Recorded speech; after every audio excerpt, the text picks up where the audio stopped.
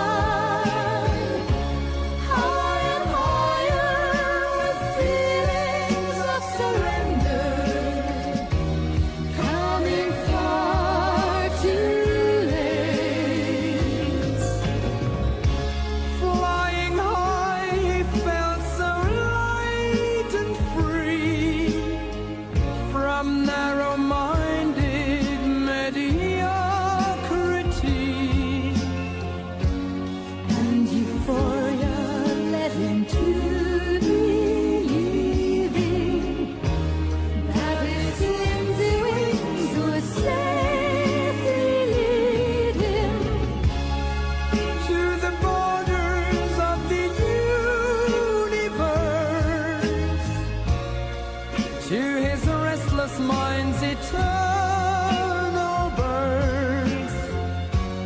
No more yesterday and no tomorrow.